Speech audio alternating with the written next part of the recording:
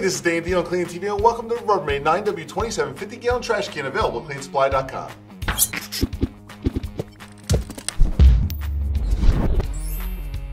Here we have the Rubbermaid 9W27 50 gallon Rubbermaid trash can available at cleansupply.com. Let's break it down for you, tell you what it's all about. How many times have you went out to a trash can, open up the lid, and the trash can fall over? Not so much with a Rubbermaid commercial product. This is perfectly balanced, well sealed, lightweight lid, controls odors, keeps them sealed inside.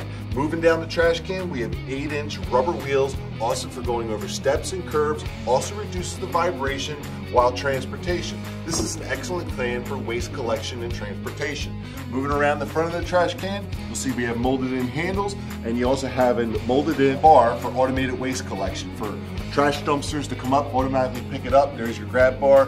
Here's your hand dumping bar. Boom.